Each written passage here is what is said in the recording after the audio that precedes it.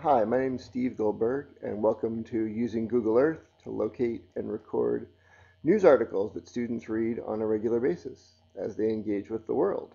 Uh, I would argue they should be reading news articles on a regular basis to engage with the world. So let's go to Google Earth.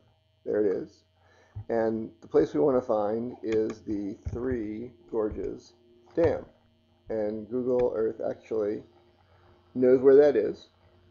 We'll talk in a moment about what you do if Google Earth doesn't know where something is that you type into this search box up here. But let's click on A. And it turns out this will take us to a scenic view area that allows you to see the Three Gorges Dam.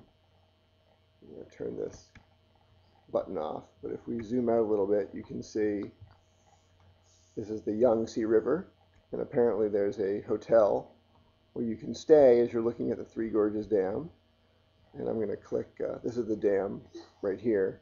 I'm going to click out this box, zoom in a little bit more on the Yangtze River, and just so we get some perspective here, this is a measuring tool, and you can click on two different points and it tells you how far it is across.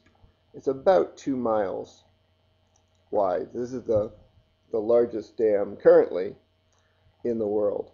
Um, and so what we would do if we read a news article about it is click on add a place mark. We'll call the place mark Three Gorges Dam. Make sure it's in the right spot. That looks like a pretty good place for it. And we'll call it Three Gorges Dam. And then we might say um, something like, I learned about this dam from an article in the New York Times a few days ago. And we'd say maybe this is mid-November and put the link in there, HTTP.